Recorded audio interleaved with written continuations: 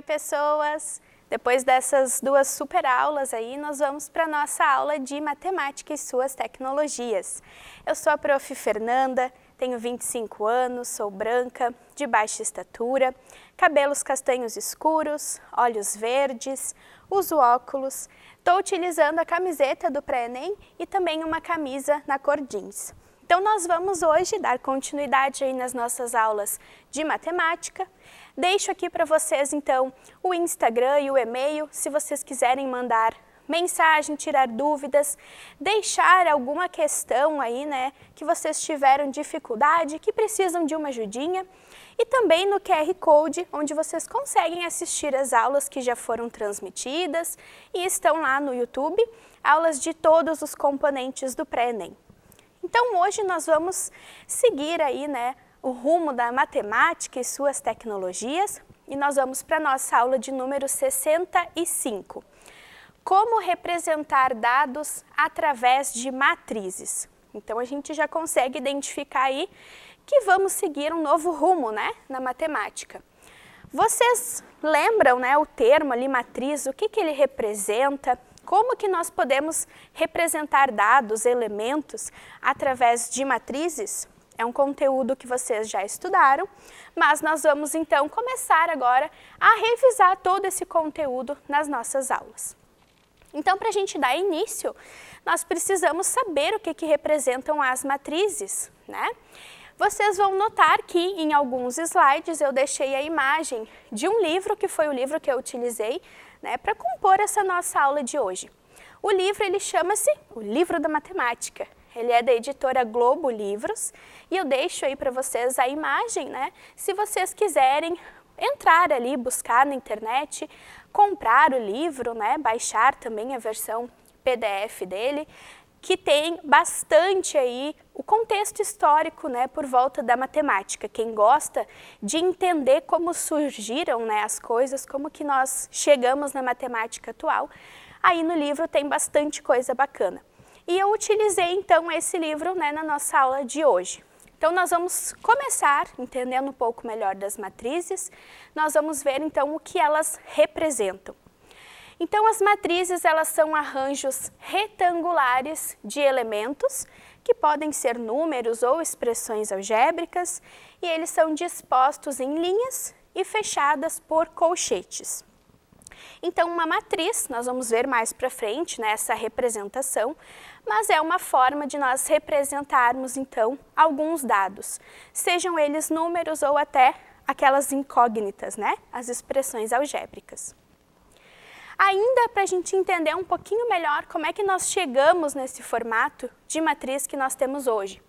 Alguns historiadores creem que o povo maia manipulava números em linhas e colunas para resolver equações, citando como evidência decorações que parecem grades em monumentos e trajes sacerdotais. Aqui eu trouxe a imagem que representa um pouco o sistema de numeração maia. Nessa imagem, nós temos algumas escritas, né?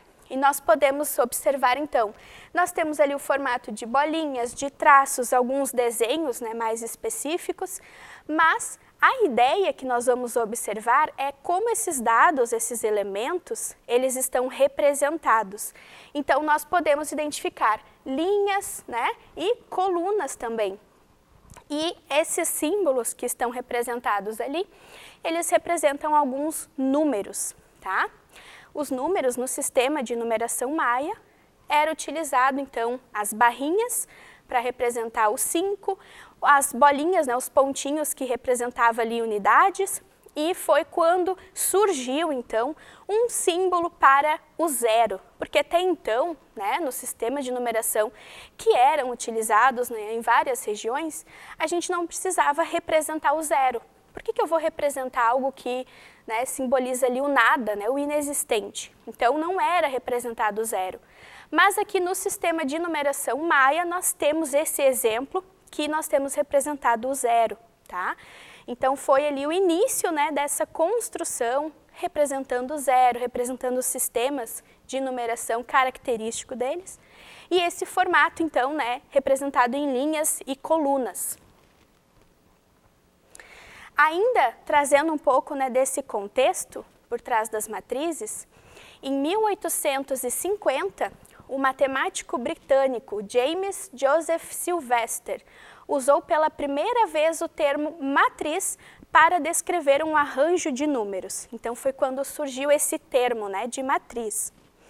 Pouco tempo depois, seu amigo e colega, o Arthur Cayley, formalizou as regras de manipulação de matrizes.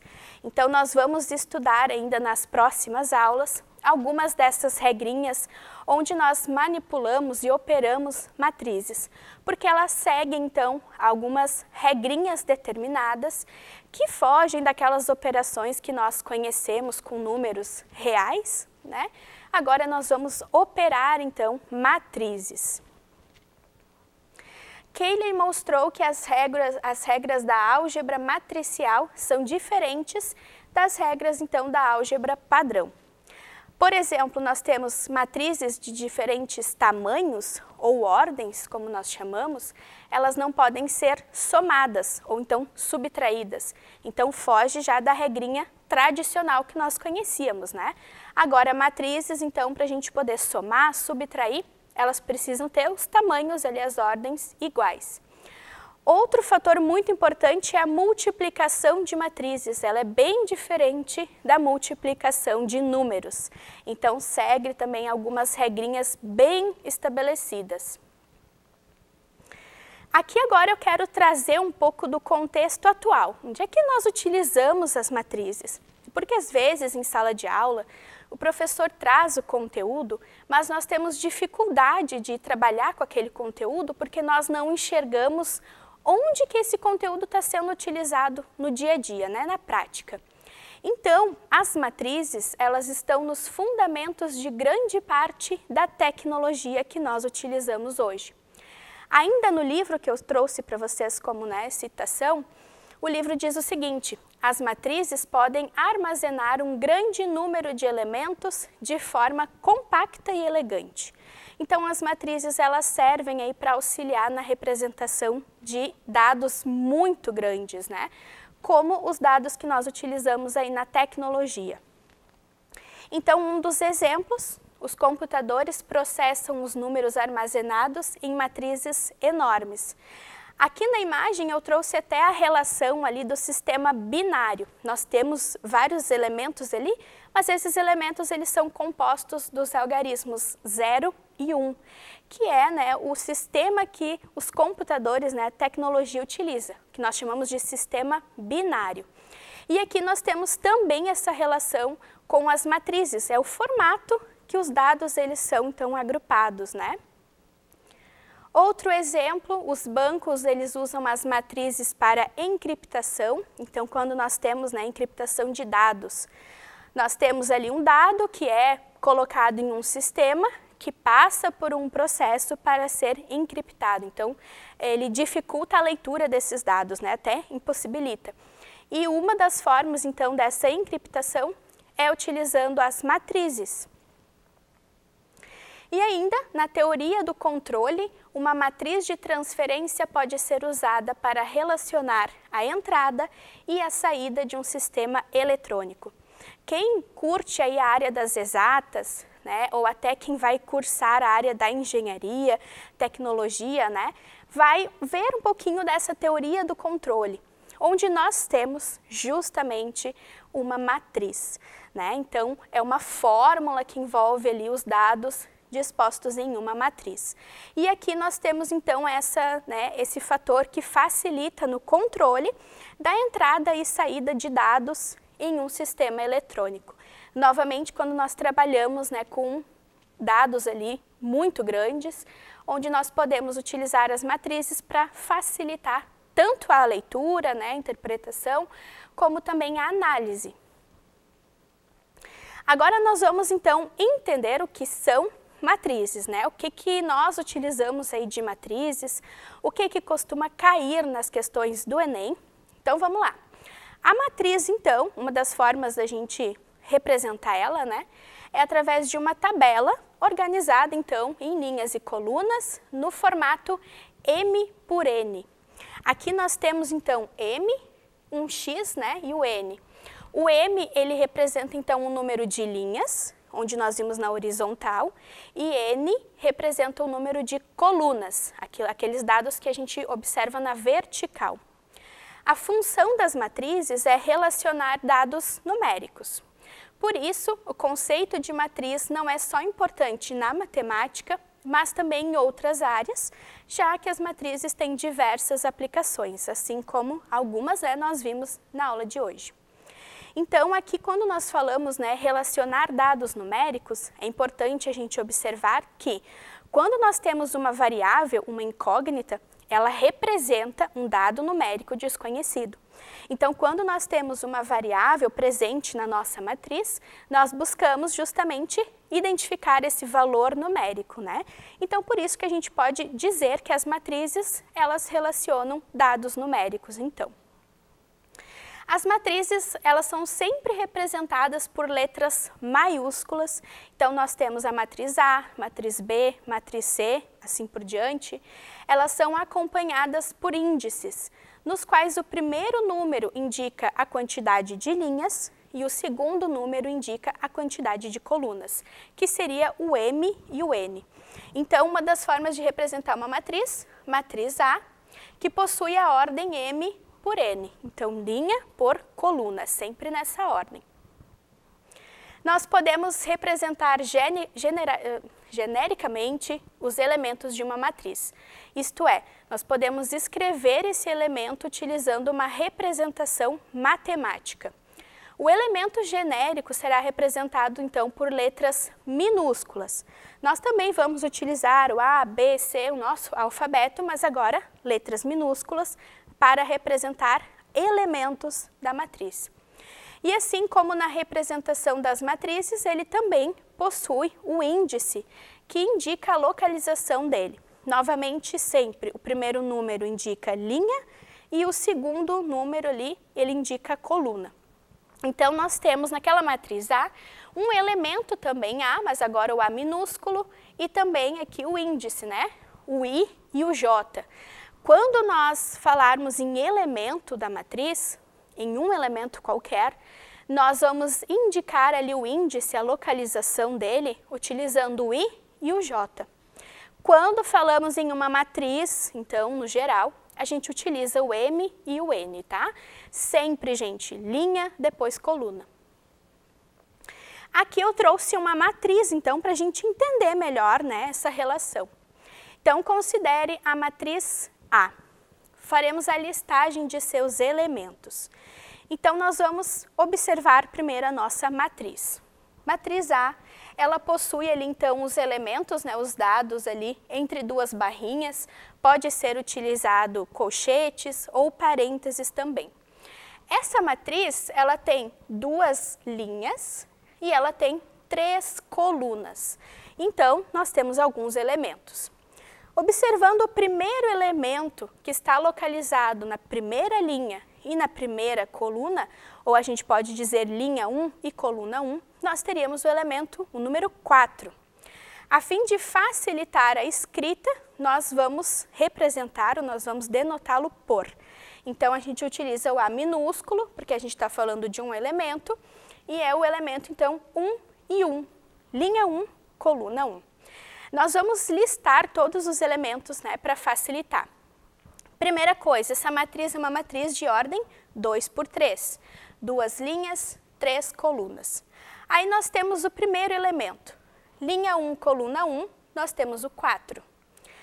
Ainda na linha 1, mas agora coluna 2, nós temos o 16. Então, nós listamos por A1, 2.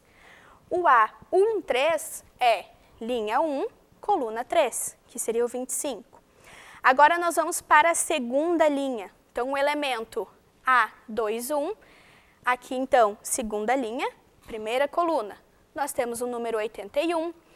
O A22 nós temos o 100 e o A23 nós temos o 9. Então, sempre listamos primeiro linha, depois coluna, e aí a gente observa na matriz qual é o elemento que está representado ali. Aqui eram todos, então, dados numéricos, né? Nós tínhamos simplesmente a matriz A, que possuía então esses seis elementos. Aqui eu trouxe uma forma então genérica da gente representar uma matriz. Nós temos uma matriz de M linhas e N colunas e nós temos todos os elementos dentro da matriz. Então, nós sempre vamos ter os elementos também aqui relacionados por A. Sempre, gente, a linha 1, linha 2, linha 3, até chegar na última linha, que seria a linha M. E assim como nós temos as colunas, 1, 2, 3, até chegar na última coluna, que seria a coluna N. Essa representação é listando né, todos os elementos. Aí nós temos uma forma geral de representar, que é utilizando o A minúsculo, né, o A e J, dessa nossa matriz, onde então o I, o elemento ali que vai determinar né, a linha, ele fica de 1 até a última, que é o M, e o J, ele fica então da coluna 1 até a coluna N. São duas formas de representar. Uma utilizando ali né, justamente a simbologia matemática e a outra representando todos os elementos que nós tínhamos. Eu trouxe uma questão do Enem, do Enem de 2021, para a gente dar uma praticada. Essa questão ela trabalha justamente com essa disposição né, de elementos em uma matriz. Então vamos ler a nossa questão. Uma construtora, pretendendo investir na construção de imóveis em uma metrópole com cinco grandes regiões, fez uma pesquisa sobre a quantidade de famílias que mudaram de uma região para outra de modo a determinar qual região foi o destino do maior fluxo de famílias, sem levar em consideração o número de famílias que deixaram a região. Os valores da pesquisa estão dispostos em uma matriz A, os elementos então A e J, sendo o I e o J pertencente ao conjunto de 1 até 5, em que o elemento A e J corresponde ao total de famílias em dezena que se mudaram para a região I, que se mudaram da região I para a região J durante um certo período. O elemento A ele é considerado nulo, uma vez que são somente consideradas mudanças entre regiões distintas. Então, não houve mudanças entre regiões iguais, né?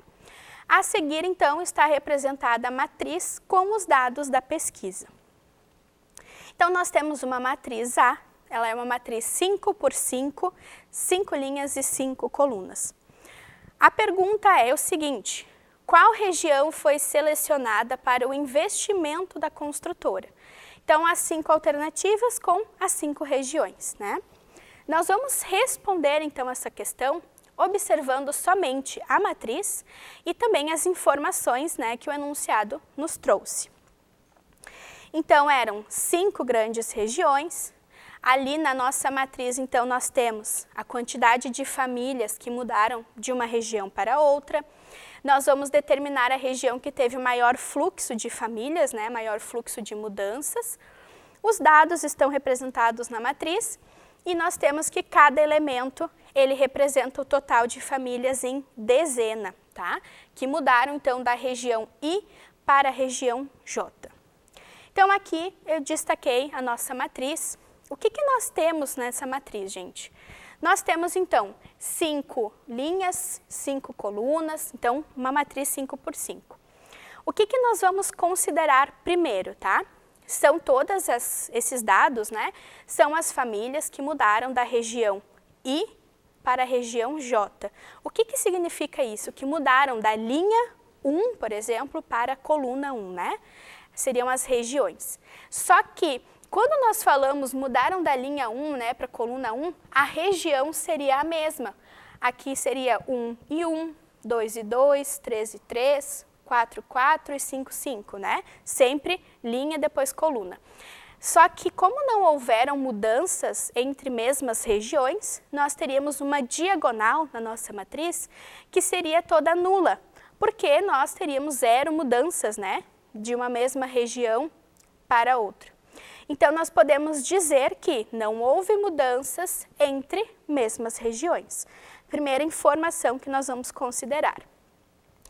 Agora, para a gente analisar quantas famílias mudaram, né? Nós vamos utilizar sempre as regiões, as cinco regiões. Aqui eu destaquei a região 1. O que, que eu destaquei aqui, na verdade? Eu destaquei a primeira coluna, porque nós teríamos todas as famílias que mudaram para coluna 1, né? a região 1. E aí nós vamos somar todos os valores que tem nessa coluna. Então, nós teríamos aqui né, de 1 para 1, nós teríamos 0 famílias, porque seria a mesma região. Agora, da região aqui 2 para a região 1, 0 famílias também. Da região 3 para a região 1, nós tivemos duas famílias. Região 4 para região 1, nós tivemos um também. E da região 5 para a região 1, nós tivemos também uma família. Então, somamos todos os valores que teria na primeira coluna. 0 mais 0, mais 2, mais 1, mais 1. Isso aqui daria 4. Os dados aqui somados é igual a 4. Mas o enunciado nos disse que cada dado aqui representa o valor em dezena. Então, ao invés de ter quatro famílias, nós teríamos 40 famílias, né? Multiplicando então por 10. Então, mudaram para a região 1 um total de 40 famílias. Agora, analisando a região 2, então nós vamos destacar a segunda coluna inteira e nós vamos somar todos os valores aqui da segunda coluna, né? Então, da região 1 para a região 2, mudaram quatro famílias. Da região 2 para a região 2, zero, né? Porque seria a mesma região. De 3 para 2, foram duas famílias. De 4 para 2, foram zero. E de 5 para 2, foram dois. Então, somando os valores, nós teríamos 8, ou então 80 famílias, né? Multiplicando por 10. E assim nós vamos fazer para as outras três regiões. Então, na região 3, nós teríamos o valor né, da coluna 3, somando nós teríamos 2, mais 6, mais 0, mais 2 e mais 0. Então, no total, nós teríamos 10, portanto, 100 famílias. Multiplicamos por 10. Região 4. Então, somando os elementos da quarta coluna, 2 mais 2, mais 3, mais 0 e mais 4. Então, a soma daria 11, portanto, 110 famílias. E a última região, a região 5, de novo somamos os elementos da coluna 5. Então, nós teríamos 5 mais 3 mais 0, mais 4 e mais 0. Então, a soma daria 12, portanto, 120 famílias, multiplicando por 10. Tá? Então, aqui eu listei todos os dados. Região 1, mudaram então 40 famílias. Região 2, 80. Na região 3 foram 100. Na região 4 foram 110 e na região 5 foram 120 famílias.